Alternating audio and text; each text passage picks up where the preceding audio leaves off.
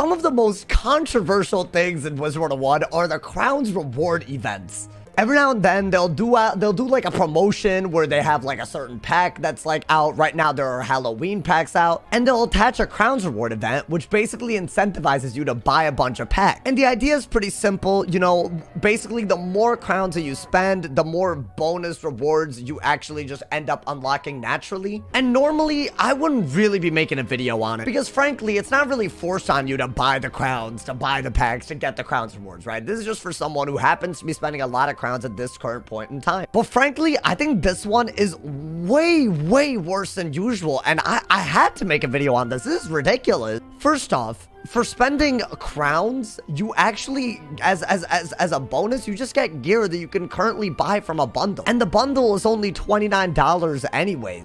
What blows my mind is that, like, even, like, let's say that you were to buy the bundle, you would actually get more items like compared to the crowns rewards all the way up to 110,000 because this includes the mount, the pet, the wand, all of that, but it doesn't even include the house that you can get from the bundle. So I see no reason why you wouldn't just buy the bundle. Now, obviously, the good counter argument to that from a marketing perspective is let's say someone had not bought the bundle and they had a reason to spend a lot of crowns. And I'm gonna be honest, these packs, they're throwbacks. I honestly might actually open up a couple because they have really cool stitches. And a lot of these are like, you know, 299 crowns as well. So you can actually buy more packs and get more stuff compared to the 399 like price that we're kind of used to. I think the type of promotion that they're doing with packs, that's not a problem at all. And in fact, if you're trying to incentivize incentivize people to buy them with a Crowns Reward event, great. But my issue is with the tactic that they're using in order to inflate the price of what's at the top, which is the additional character slot. I think even regardless of whether people actually end up spending a bunch of crowns in order to get this or not, this still contributes pretty hard to the idea that, like, you know, people are whales on Wiz and that Wiz exploits it. And frankly, yeah, I think some people might put a lot of crowns into the game, but I don't think that's the lifeblood of Wizard 101 like people make it out to be. It's just stuff like this makes it look like that. And by the way, there are no other rewards on this that are like outside of a bundle other than literally a mega snack pack and like literally a hyper elixir for 90,000 crowns of spending. I think the Octawhirl is uh, like, I don't know, like a mount maybe or something from like another bundle. So I guess at least they threw in another bundle. But after that, that's it. Like, there really, there is nothing creative about this Crowns Reward event.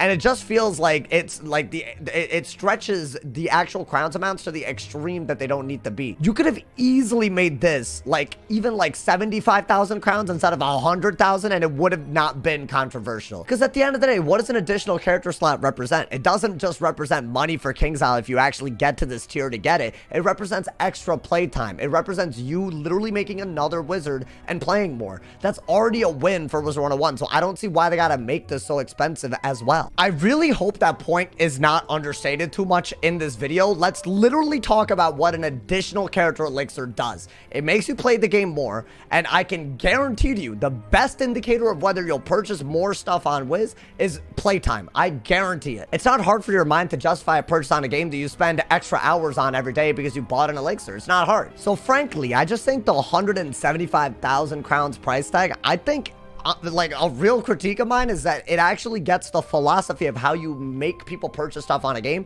I think it gets a core part of that pretty wrong. I think whenever they do put out like these Halloween packs and stuff like that, or just throwbacks, like stuff that people will buy a lot, I think what they really need to consider is like the optics of what a Crowns Reward event looks like. I think for one, there should be more tiers between like a thousand crowns and like 15,000 crowns. I find it really hard to believe that there aren't more people spending below 15,000 crowns and participating in this compared to everyone that does more, right? There's just going to be more people. So why not add more tiers for people that spend less, but are still spending a good amount on packs like this? So adding more tiers and more, you know, even minor rewards, they don't have to be crazy. You're technically getting stuff for free by spending crowns. They don't have to be nuts. Even minor rewards, more of those, but below around like, you know, 10,000 crowns. I think that's a great idea because then it's like actually realistic for some people to spend crowns and, you know, open packs. They're like, okay, maybe I can open some packs, get some cool stuff, and I'll go for this 5,000 crowns reward and get some three or four rewards on the way there. Like, how different would that be compared to what this is? I think it would be crazy different. Additionally, I think they need to, like, I don't know, like, have, like, a unified vision on what the top of a Crowns reward should look like, they seem to not have decided on this. I mean, let's be honest. This used to be horrific.